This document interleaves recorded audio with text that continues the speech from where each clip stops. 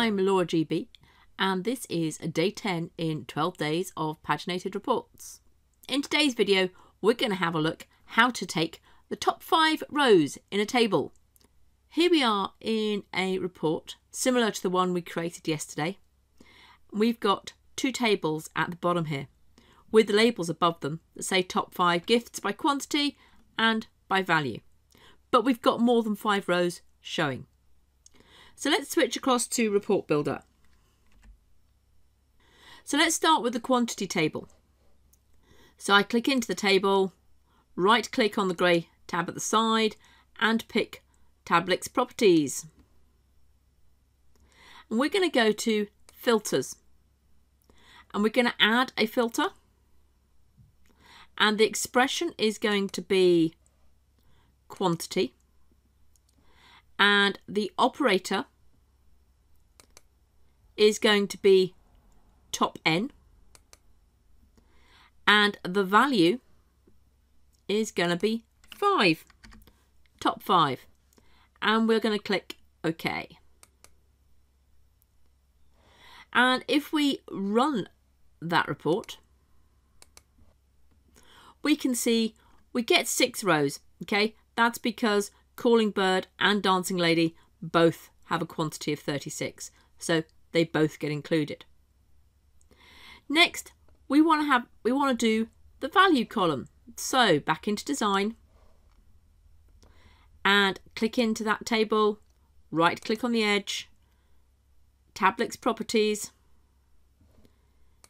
filters, let's add, and we're going to go for a value. We're going to go for top N and pick 5 exactly the same as before. And let's run our report. And we get an error, failed to preview report. So if we look at the details, it mentions in here that top n needs it to be an integer. The last line there. Verify the data type for each filter value is integer. So let's go back into our table, right click and Tablix properties. And let's go to filters. Now our value column is a currency. So it's got decimal places. So what we're going to do is we're going to times it by 100 and then put it inside an int function. So I click on FX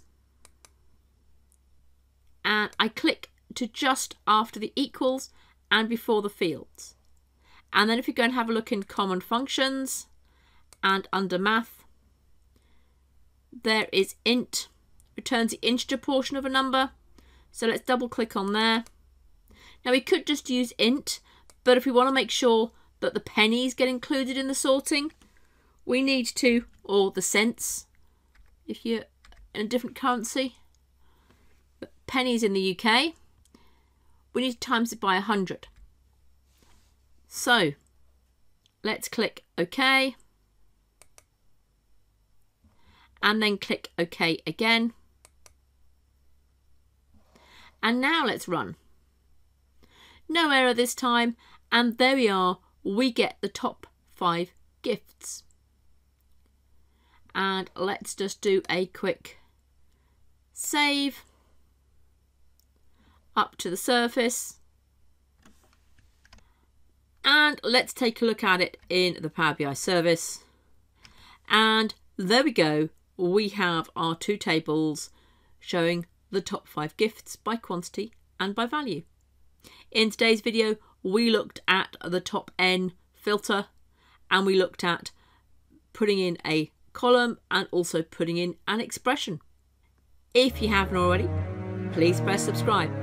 Take care now.